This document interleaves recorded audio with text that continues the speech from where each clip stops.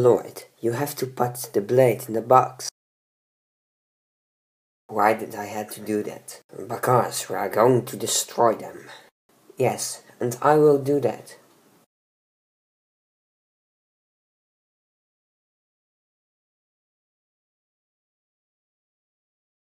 I'm sorry, but I'm going to look for Zane. Oh no. I know who did it. It was the samurai.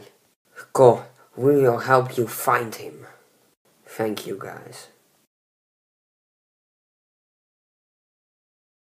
Give me the blade now. I don't think so. Lloyd, do something!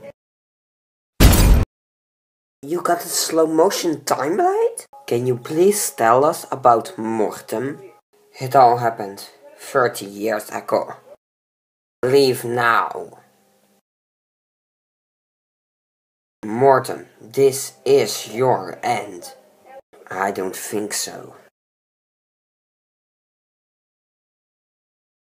Was he your father? He, he, he was.